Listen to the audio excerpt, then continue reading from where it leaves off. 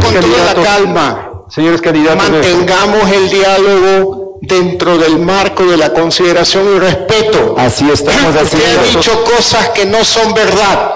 Usted no fue- es verdad. Fue superministro del tiempo de Magua. No es verdad ustedes, que yo haya comprado CDRs. Es falso. Y tan falso es que en un informe elaborado por la comisión creada por Correa en el 2007, presidida por Eduardo Valencia, fue muy claro al decir, Lazo no tuvo nada que ver. ¿Cómo es que en la historia? Solo para que usted no, candidato ¿cómo es que- Pérez, yo lo he escuchado, usted me va a escuchar ahora. Mágicamente usted dice- hace que el Banco de Guayaquil, de lo que era un banco completamente secundario, se elevó después del feriado bancario y de la compra de los CDRs. Mágicamente, ¿cómo se adquiere esa plata? Ya, Señor ¿sabe Eduardo, cuál? por favor, Por por favor, favor. un momento. Yo creo que aquí hay, una ofensa al honor. Usted habló de que tenemos que defender el honor de nuestro apellido, porque le pertenece a nuestros hijos, le pertenece a nuestros nietos. Yo a usted no, le, no lo he ofendido. Yo no le he dicho que eso es ilegal. Dentro de la legalidad. No, no, no, no. Pero Y eso aún no es siendo justo. legal no es verdad. Una cosa es la justicia, otra la legalidad. legal, no es verdad. Aún siendo legal, eso es mentira.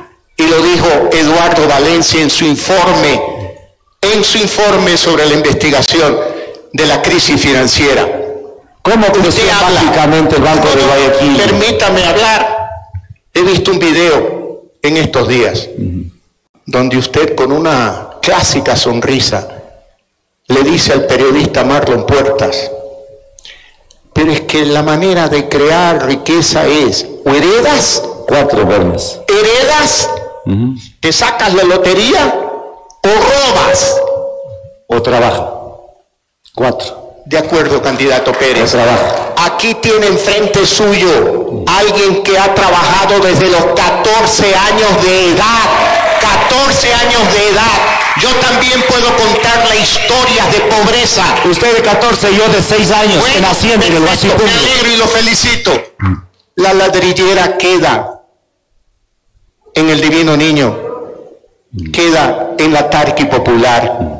Ahí he estado y he recorrido todo el Ecuador durante 11 años de la mano de mi mujer y yo he tenido una valentía, mi querido candidato Pérez, conózcame bien.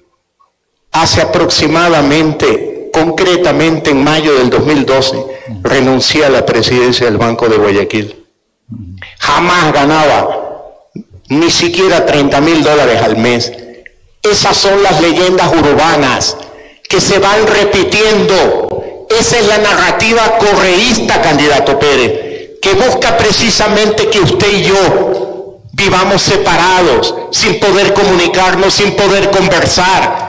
Quiero que sepa que fui insultado por Correa cuando en la campaña del 2013 yo defendía al Yasuní. Así yo paga. defendía al Yasuní. Así pague Yo Dios a sus defendía al. Por apoyarle usted a Correa, apoyándolo económicamente, No, así pague el diablo a sus candidato Pérez, no, candidato Señores, Pérez.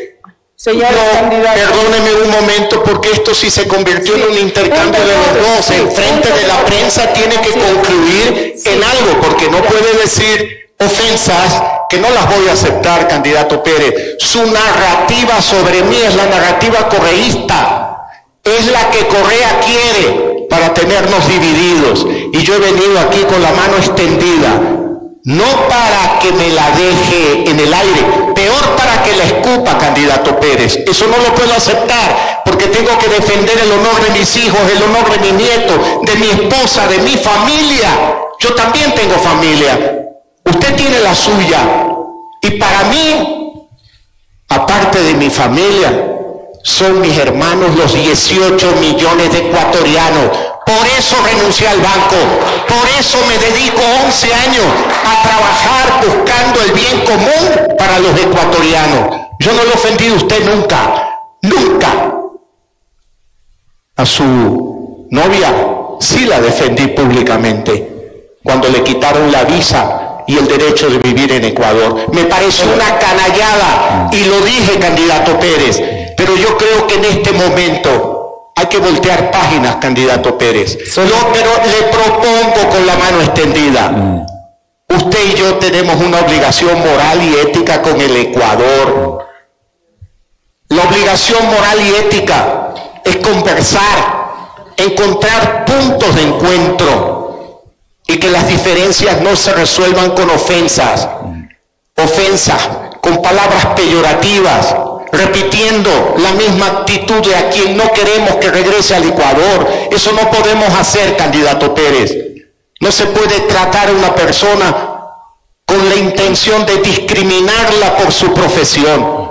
Usted ha leído la Carta Universal de los Derechos Humanos y hay un artículo muy claro. Nadie puede ser discriminado por cualquier motivo, incluido la profesión que ejerció. No lo he ofendido, no, lo he discriminado en ningún momento. señores Decir que usted es el candidato de la banca no estoy ofendiendo. Candidato. señores Candidato, ya habrá favor. momento para que usted y yo. Yo le propongo, hagamos las urnas y en el segundo debate, en la segunda vuelta, porque Arauz va a bajar al tercer puesto, ahí vamos No, a tener la oportunidad de debatir. Y- yo creo que tenemos que ser realistas. Este proceso electoral, y yo no tengo pelos en la lengua para decirlo, se lo dije el otro día en la reunión que usted también tuvo con el Consejo Electoral y los observadores. A mí me han sorprendido, porque el proceso fue más eficiente de lo que yo creía que podía ser. Yo no tengo una sombra de duda en el proceso. Porque le beneficia a usted. No, no, candidato Pérez, usted está equivocado. No tengo sombra de duda. Si yo quisiera simplemente quedarme con el resultado que hasta el momento consta,